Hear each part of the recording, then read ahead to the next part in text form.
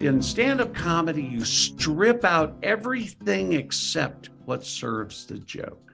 One of the one of the more difficult things for me to get students to do because they think they need to say everything and you don't. You need to only say that which will pop the joke. Even in storytelling, I spend much of my time with my advanced students editing out all of this unnecessary stuff. For me, it all starts with joke structure. It's really helpful if you take every one of your jokes and what I call the crux, which is just shrink it down to what is it that the joke's about? In order to understand the setup, okay, like uh, uh, my grandfather died a peaceful death, he died in his sleep. We now start compiling a whole bunch of assumptions. Is he in the house in the house dying? Is he in the hospital dying? We compile what I call a first story. It's like this big movie in your head with all these details in it. And we compile those until we say, I know what the comedian means by that. Now, any extraneous information in that setup that doesn't let that happen instantaneously by putting too much information into that setup where they could expect wrong and go another place. In other words, I'm trying to get them to go right to right to where I want them to go. He never woke up.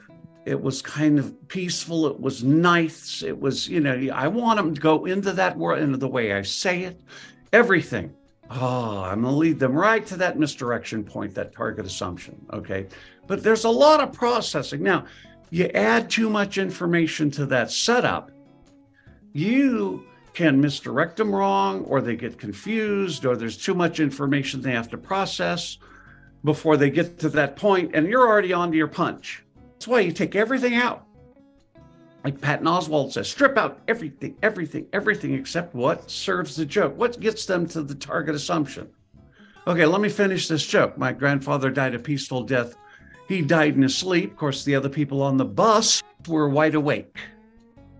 When you put too much information in the setup and the punch, anything that's not serving just the joke itself, it slows all that processing down to a crawl, or they don't process it to the point of laughter before you're moving on to your next joke. For me, I want to write a joke so lean that they get an idea, instant expectation, hit the punch, they resolve that incongruity, and it's almost an instant response from them. Ah, they just laugh.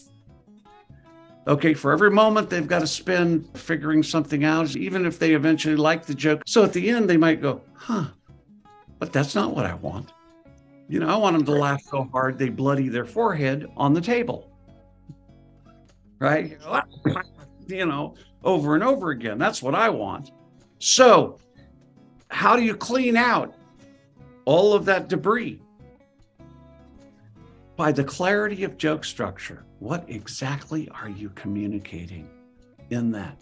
The setup gets them to this. The punchline expresses this only.